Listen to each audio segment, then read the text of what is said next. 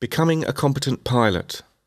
A pilot can be described as being proficient when he has automated a large part of the necessary flight deck routine operations in order to free his cognitive resources. A pilot is skilled when he trains or practices regularly, knows how to manage himself, knows how to keep resources in reserve for coping with the unexpected. Pilots with little experience refer to information more than expert pilots when carrying out the same task. The relationship between confidence and expertise in the initial phase of training. The pilot is confident enough to fly the aircraft at this stage, but neither has a great deal of confidence in his abilities nor in the whole system.